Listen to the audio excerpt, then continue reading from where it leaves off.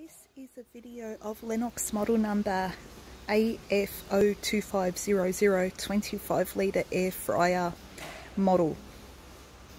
This is also sold under the brand Smith & Noble. When you first plug the unit into power, all the lights will flick on and then go off.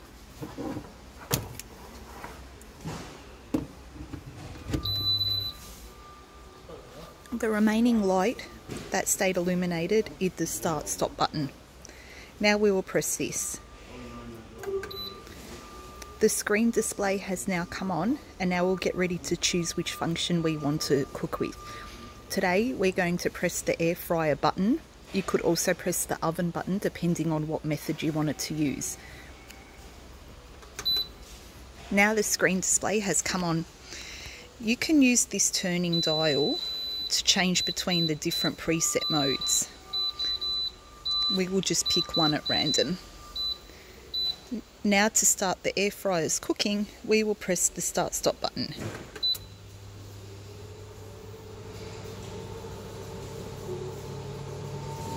You can also push the oven light button at any point to turn the light on inside the oven.